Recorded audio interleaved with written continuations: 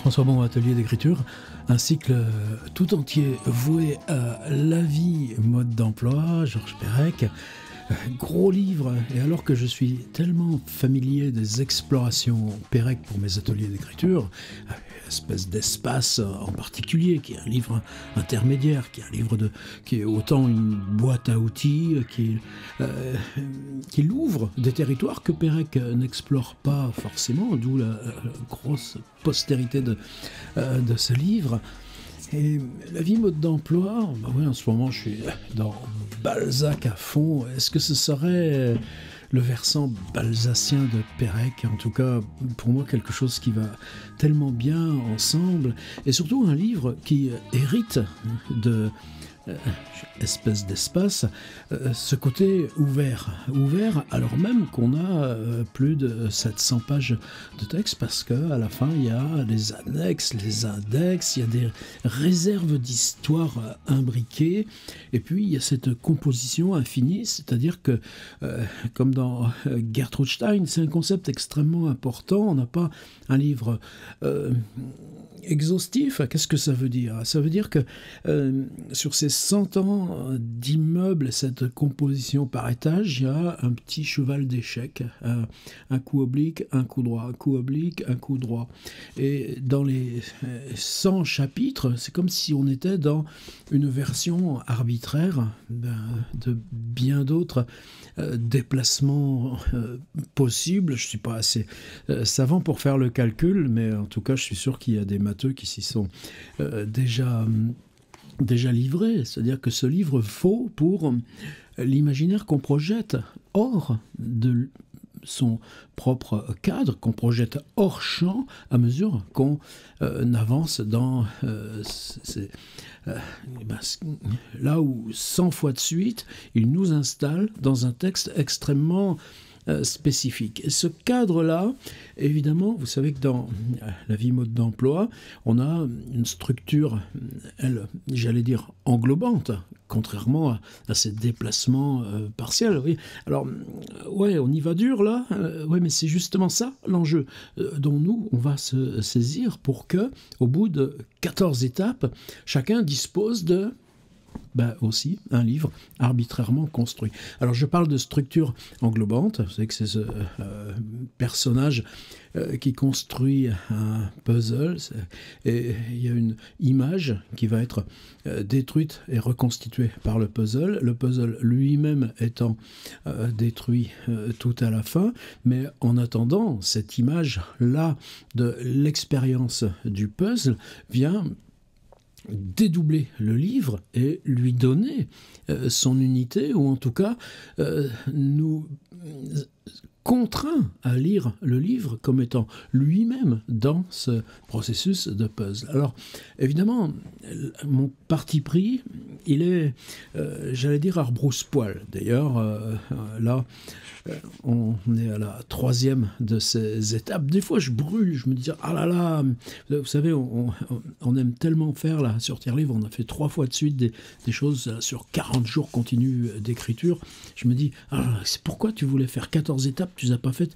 là, en proposant aux gens, par exemple, vacances de Noël, allez, on se fait deux semaines avec chaque jour quelque chose. Bon, euh, allez, c'est trop tard. On a décidé que ce serait un rythme hebdomadaire et euh, la contrainte, c'est de réfréner son frein parce que moi, ce que j'attends, c'est que euh, au bout de la quatrième, cinquième, sixième étape, ça y est, on voit naître. Alors, j'ai parlé de lieu collectif. Là, la vie mode d'emploi, on a euh, cet immeuble, ses locataires, ses étages. Alors, lieu collectif, j'ai bien insisté, ça pouvait être un lieu privé ou public. J'insiste parce que euh, là, regardez, il y a déjà plus de 40 personnes qui ont contribué. Waouh, ça c'est le mystère et la récompense euh, tiers livre. Et moi, je suis qu'une sorte de, de miroir ou d'amplificateur. C'est formidable, cette impression d'être tiré par par cet élan, mais euh, d'autres vont se joindre. On n'est qu'au tout début du cycle. Eh bien, c'est définir ce, lieu pour lequel on a l'intuition qu'un livre est possible. C'est-à-dire pas un livre qui soit toute votre vie. La vie mode d'emploi n'est pas toute la vie de Georges Perec, voire le reste euh, le reste de l'œuvre, mais quelque chose qui est euh, signifiant, ce qui est signification pour vous.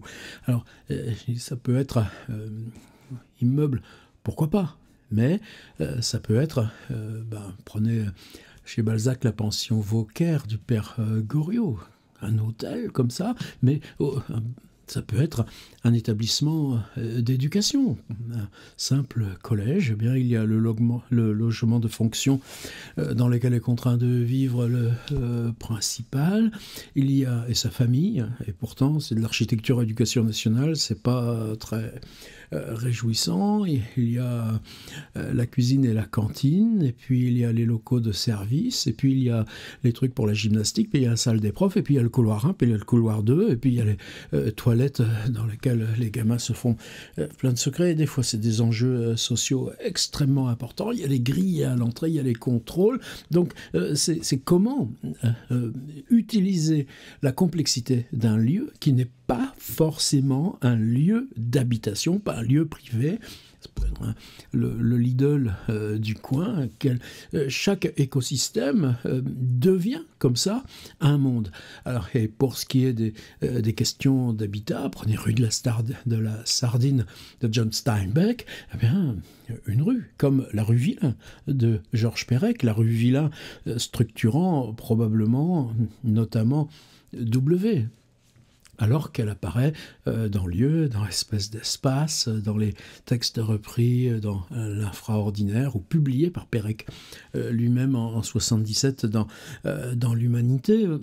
Et alors, rue, hameau, qu'est-ce qu'on a comme hameau? Ben, hameau de William Faulkner, ou La nuit au carrefour, j'ai cité de, euh, de Simenon, ou bien une petite ville, où ben, ça manque pas dans euh, la littérature, ou bien une grande ville, mais dans laquelle vous avez habité, vous, pendant une période limitée de votre vie, mon année à Stuttgart, ou mon année à Berlin, oui, par exemple, pourquoi pas, ou la Villa Médicis, je pensais à Philippe de la Genardière, son livre La communauté, après ces deux ans, lui, de euh, séjour là dans cette communauté euh, fermée où tiens moi je pourrais faire ça aussi sur euh, mes cinq ans dans l'école d'art de, de Sergi tout, ça vous voyez c'est ce que je voulais ouvrir la trappe. Alors vous êtes déjà là. Ça veut dire que vous savez déjà, vous avez déjà l'intuition de ce lieu qui va naître, mais qui va être un lieu de fiction m'intéresse pas l'enquête pour faire exister le lieu source. C'est comment on va le fabriquer. La vie mode d'emploi de Pérec est un roman. Et on a appelé ce cycle maison-roman, ou roman-maison. Ouais, roman-maison. C'est mieux, non? Roman fait à la maison. Alors, donc si vous nous rejoignez, merci de prendre ces éléments-là si vous faites partie des 40 qui ont déjà l'intuition et le savoir de ce lieu, eh bien c'est là où pour moi la vie de mode d'emploi devient euh, non pas un guide, mais un renversement narratif. Et ce renversement, c'est-à-dire qu'on pourrait avoir, c'est-à-dire, bah, allez, je parle du général et puis j'approche du particulier. Non.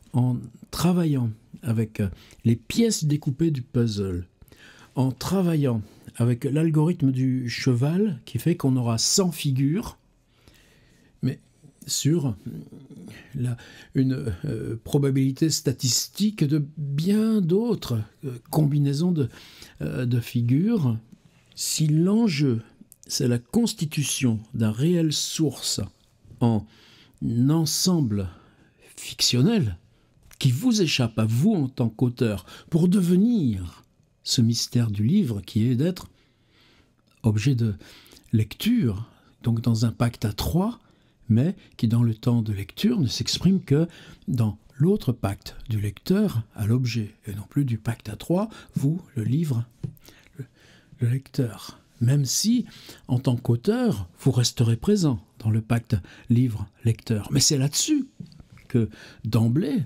on travaille, comme on a toujours euh, travailler dans euh, nos différents cycles. Ça veut dire que euh, là, si j'avance, et ce qu'il peut y avoir de frustrant, c'est que euh, là, première chose, j'avais pris la toute fin, donc à rebrousse-poil, comme je l'ai dit tout à l'heure avec cette belle expression française, c'est qu'à la toute fin, on voit le 28 euh, juin 1973 euh, les appartements, les gens qui les occupent, là, fixés dans un, instant ultime. Eh bien, on avait fait ça. Lieu collectif, eh bien, on passe d'abord par le collectif.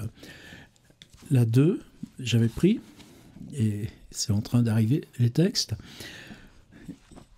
Deux fois, là, il y a une chaufferie. Cette chaufferie, elle est importante parce que c'est le chauffage central de l'immeuble. Il y a des manomètres, il y a des tuyaux, ben, il y a des fuites, il y a des problèmes. Il peut y avoir des gros hoquets dans les vieux radiateurs euh, de bronze. Il faut purger, etc.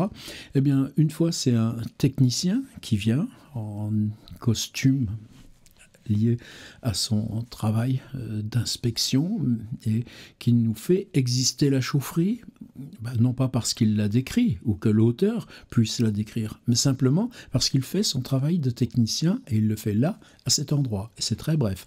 Et puis, chaufferie 2, c'est cette fois un ouvrier qui est à plat ventre pour euh, à plat ventre. Oui, mais par contre, il a un plan de tout l'immeuble pour se euh, repérer. Donc deux fois, on a un personnage extérieur à, cet écosystème qu'est le lieu, euh, et qui décrit dans sa propre occupation, qui n'a pas pour enjeu le roman que nous, on fait de ce lieu collectif. Mais l'extériorité du personnage, et pour moi, c'est ça qui était important, j'y ai assez insisté la semaine dernière, dans le temps qu'on accompagne, dans le temps dans lequel on lit le technicien à chaufferie 1 et l'ouvrier dans chaufferie 2, dans ce temps-là, l'immeuble tout entier, ou le lieu collectif tout entier, est présent comme appelé à l'arrière-fond, mais si on cesse de s'intéresser à l'ouvrier,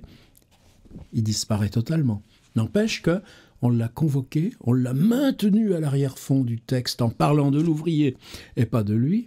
Et puis, euh, pour nous, on a une brique supplémentaire. Alors cette brique supplémentaire, aujourd'hui, je voulais vous proposer on est déjà allé là, je pense que c'était quand on avait euh, travaillé l'été 2018 sur ce cycle je peux euh, écrire la ville ou quelque chose comme ça, mais c'est un cycle qui s'était fait tellement, euh, tellement vite, tellement bien et dans les, conditions pour moi très très particulières dans lesquelles euh, j'ai fait. C'est celui peut-être qui a eu la plus haute postérité là, de livres publiés par vous-même euh, participants et euh, il n'y avait pas de consigne écrite. Tous les jours une petite vidéo, là, depuis San Francisco, depuis, euh, n'importe où que, que j'étais.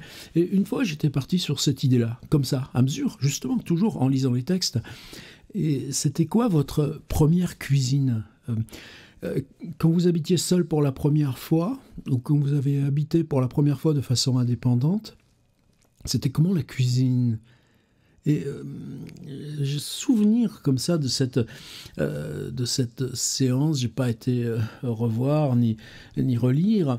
Mais là, justement, dans ce chapitre 71, alors c'est Moreau, Moreau, on doit être au 4 ou au 5, c'est toujours cette, cette logique de... Attendez que je le, le retrouve, 60. 64, 64, 68, 69, 70, 71 vont se suivre. 74.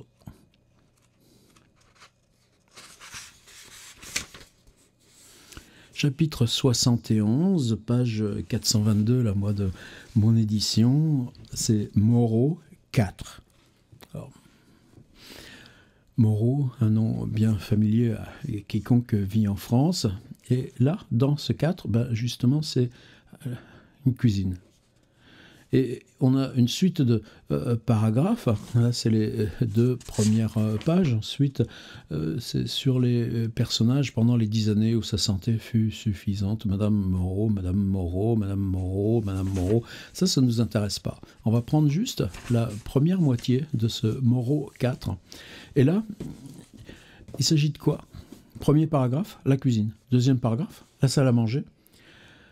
Euh, toujours la salle à manger, à l'exception des tables et des chaises. Et puis, euh, euh, on, apprend que c'est un appartement qui a été entièrement fait en blanc. Ça m'est arrivé une fois, moi. Alors, c'était dans quelle ville? Est-ce que c'était Ottawa, quand on fait des tournées, des fois on est invité, on n'a pas le droit de, ne pas y aller par l'attaché culturel. Alors cette tournée-là, ça avait été particulier parce que eh ben, c'est des braves gens euh, qui n'ont pas lu vos livres. De toute façon, ça fait partie de leur mission d'accueillir les artistes envoyés en tournée par euh, ce bruit qu'ils ont invité. Et puis, donc la conversation va être très générale. Enfin voilà, c'est pas plus que ça. Les gens sympathiques, il n'y a pas de problème. C'était un appartement entièrement blanc c'était leur, leur marque, leur signe. Que du blanc, du net, du pur, et la table blanche, et les chaises blanches, et les meubles blancs, et... Ah bon, bah écoutez, mais moi j'ai vu donc quelque chose comme ça. Alors, nous là, pas important, euh, ailleurs, dans euh, la vie mode d'emploi, je vais en chercher, je vais bien vous trouver une chambre aussi, parce que là, si on a la cuisine, la salle à manger, euh, bien sûr, ce serait bien qu'on ait aussi une chambre. Mais chambre, c'est à part, parce que la chambre, c'est le lieu où on perd conscience, le jeu, le lieu où, en tout cas, de la transition de conscience, la, la recherche du temps perdu, qui a tant compté dans la propre genèse de Georges Perec, c'est 14 chambres.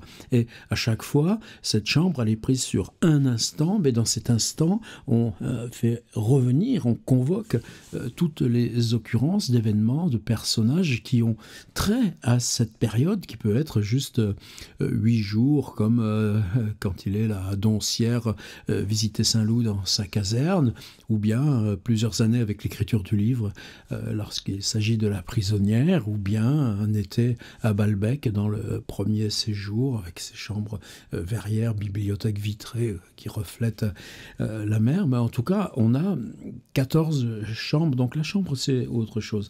Et je me souviens donc vraiment de cette séance sur la cuisine. Alors, Moreau 4, moi ce que je voulais vous proposer, eh ben, c'est tout simple.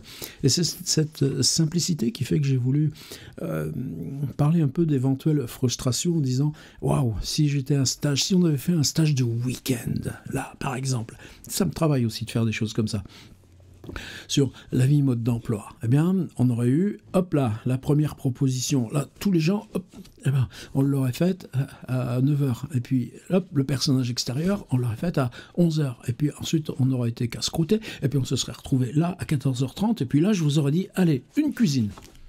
Une ou plusieurs. Ça n'a pas d'importance. Mais que des cuisines. Tiens. Et peut-être que là, je la tiens. On laisse la question des salles à manger.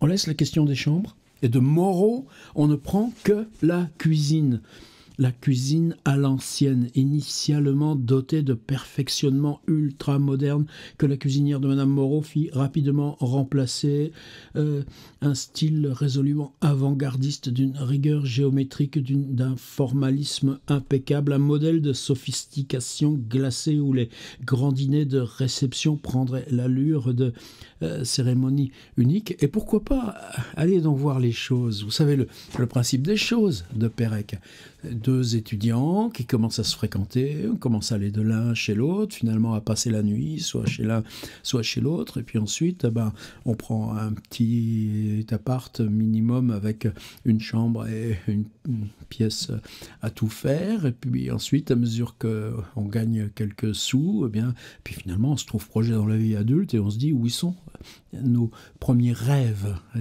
Et, dans Les choses, ce livre écrit par Pérec à 29 ans, tout ce qu'il nous décrit, c'est justement les ustensiles de cuisine, ce qu'il y a au mur, les vêtements qu'on a rangés dans les tiroirs.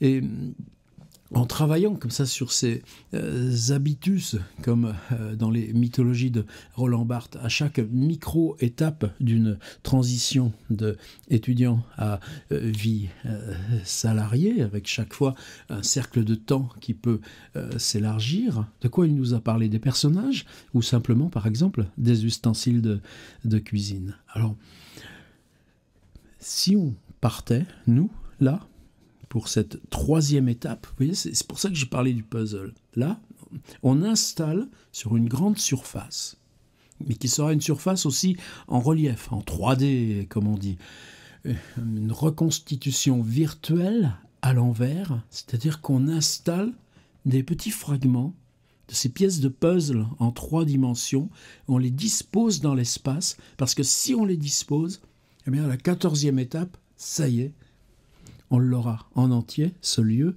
et il sera devenu livre. Et euh, là, nous, la difficulté, c'est qu'on installe ces pièces, on fabrique des représentations extrêmement détaillées, on les dispose. Est-ce que c'est une seule cuisine? Ça peut suffire. Est-ce que c'est une série de trois ou quatre cuisines dans le lieu que vous avez choisi? Ça peut suffire.